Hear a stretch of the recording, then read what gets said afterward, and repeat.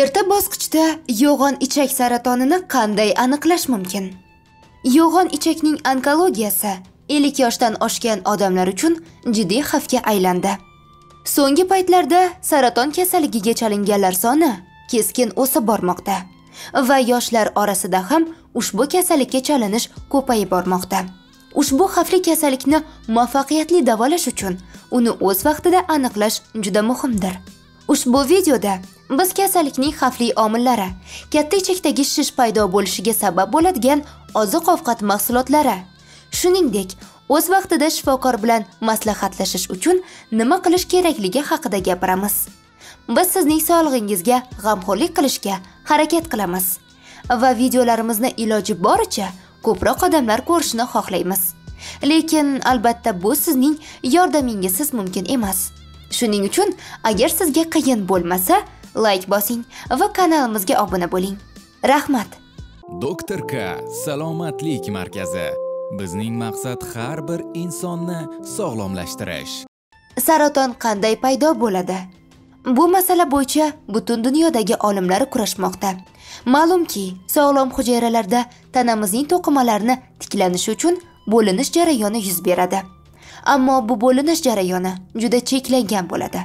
Biroq ba'zi hujayralarda deyarli to'xtovsiz bo'linish davom etadi. Bu dnk mutatsiyasiga bog'liq.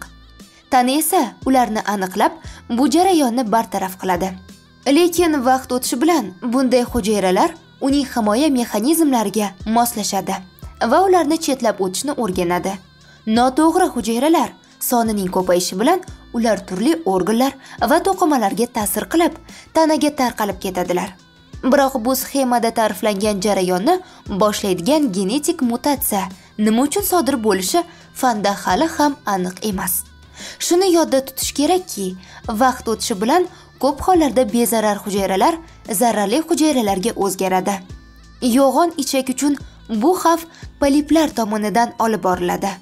Ilmiy tadqiqotlar ichak saratoni rivojlanishi uchun asosiy juda aniq xavf omillar ro'yxatini aniqladi. Birinchidan bu nasldan naslga o'tishdir.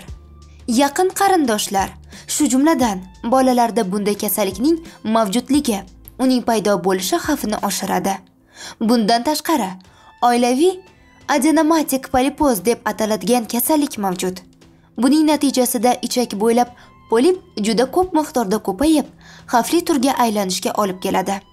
Bunday kasallik bilan saratonga chalinish xavfi 100 ga yaqin. Yaxshiyamki bu genetik kasallik juda kam uchraydi. Lianch sindromi yana bir genetik mutatsiya. Bu 50-70 foizga saraton xavfini oshiradi. Shu jumladan yo'g'on ichakda. Ikkala sindromni onkologiyaga chalinish darajasini bilish uchun genetik testdan o'tib o'z vaqtida aniqlanishi mumkin. Boshqa xavf omillariga kelsak ular ovqatlanish va turmush tarziga ham bog'liq. O'tirib ishlanadigan ish harakatsizlik ortiqcha vazn diabet ichakda yallig'lanish kasalliklari krona kasalligi hamda yaraga oid yo'g'on ichak kasalliklari bularni hammasi saraton kasalligini rivojlanishiga sabab bo'lishi mumkin. Ellikdan oshib oldin saraton kasalligini boshdan o'tkazib kichik tos bo'shlig'i sohasida nur terapiyasini boshdan o'tkazish ham bir sabab bo'lishi mumkin. Lekin eng muhimi to'g'ri ovqatlanishdir.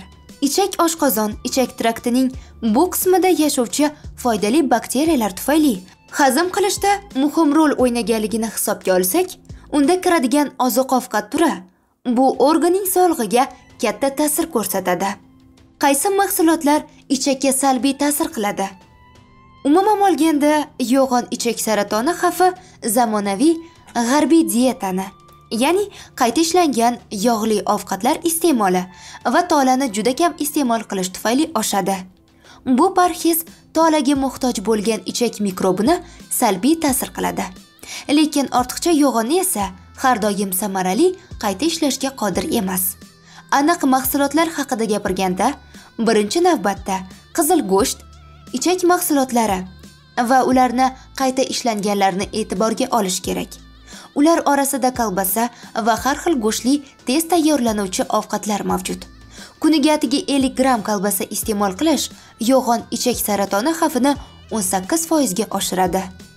Bunga kolbasaning tarkibidagi turli kanserogen qo'shimchalarning misol uchun natriy nitritning konservanti mavjudligidir.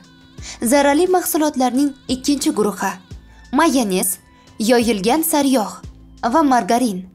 Gidratatsiyalangan o'simlik moylari asosida ishlab chiqarilgan har qanday mahsulot trans yog'lari bilan to'ldiriladi. Masalan bu turdagi yog'lar tananing turli qismlarida saraton hujayralarining rivojlanishiga yordam beradi. Uchinchi guruhga quyidagilar kiradi. Pishiriqlar shirinliklar va gazlangan ichimliklar. Oqartirilgan un shakar va bir qator bo'yoqlar qo'shilgan karamellar. Va gazli ichimliklar. Ichak mikroflorasiga salbiy ta'sir ko'rsatadi. Ulardan ba'zilari kanserogenlardir. Bundan tashqari dudlangan go'sht va tuzlanganlar haqida alohida gapirish kerak. Yuqorida aytib o'tilgan qayta ishlangan go'shtning zarari bo'lsa-da, qayta ishlash jarayonida benzopiren moddasi hosil bo'ladi. Va bu ilmiy tajribalarda tajribadagi hayvonlarda saraton hosil qiluvchi jarayonlarni faollashtirish uchun ishlatiladi. Tuz tarkibidagi xlor ham ushbu kasallikni keltirib chiqarishi mumkin. Shuning uchun sevimli ko'plab jumboqlar bilan ehtiyot bo'lish kerak. Nitratlar ichak onkologiyasini keltirib chiqaradigan tuzlarning yana bir turi. Ular sabzavot va mevalarda mavjud bo'lib, bu muhim muammodir. Chunki bu bizga kerakli miqdordagi tolani beradi va shuning uchun saraton xavfini kamaytiradi. Shuning uchun ekologik toza qishloq xo'jaligi mahsulotlaridan foydalanish juda muhimdir.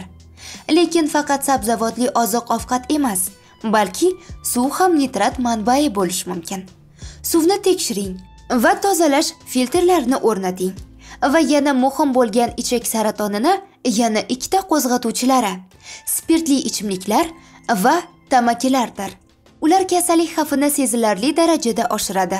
Shuning uchun shifokorlar zararli ushbu yomon odatlardan voz kechishni tavsiya etadilar. lekin faqat oziq-ovqat bilan emas, balki alohida e'tibor bilan davolash kerak. Yo'g'on ichak saratonining birinchi alomatlarini o'tkazib yubormaslik muhimdir. Bir o'rta yoshli odam axlatining o'zgarganini sezib, vaqtida dahshatli kasallikni rivojlanishidan qutulib qoldi. Shifokorga o'z vaqtida murojaat qilib, tezda davolanishni boshladi va erta bosqichda saratonni yengishga muvaffaq bo'ldi. shifokorga o'z vaqtida murojaat qilish tezda davolanishni boshlash va erta bosqichda saratonni yengishga imkon beradi. Kasallikning belgilari boshqa kasalliklardagi bir qator alomatlar bilan o'xshash bo'lishi mumkinligini aytish kerak. Misol uchun charchoq va umumiy zaiflik. Agar bunday alomatlar ketmasa shifokor bilan maslahatlashish kerak. Ammo bu stress ortiqcha ish va hatto ba'zi vitaminlarning yetishmasligi bilan natijasida bo'lishi mumkin. Ovqat hazm qilish tizimining ishlashi bilan bog'liq alomatlar muhimroqdir. Muntazam dam bo'lish va takrorlanib turuvchi qorin og'rig'i. Shuningdek doimiy bezovtalik saraton rivojlanishi davomida sodir bo'lishi mumkin. Ich qotishi diareya bilan almashtirilganda axlatning to'satdan o'zgarishi tekshiruv va xavfli tashxisni aniqlash payti ekanligini bildiradi Ushbu alomatlarga ichakni to'liq bo'shamasligi ham kiradi. Ammo saratonning eng xavfli belgilari to'satdan asossiz vazn yo'qotish, shuningdek, najasda to'satdan qon paydo bo'lishi. Bunday holda darhol shifokorga murojaat qilish kerak.